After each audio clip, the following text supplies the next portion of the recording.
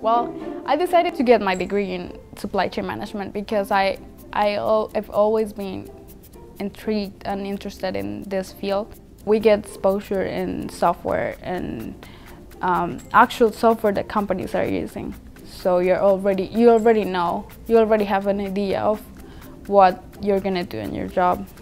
The job I want to have in the future is I want something related to risk management and supply chain resiliency which is basically how to design your supply chain network to resist um, disasters or disruptions and just keep the flow of goods going.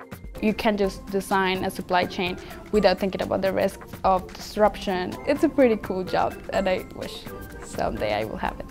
The faculty and my career coach, they, they've helped me a lot to gain like to gain confidence to how to speak with recruiters and also to get connection like networking with recruiters and and people in companies and people in my area, people that have the job that I want to have in the future.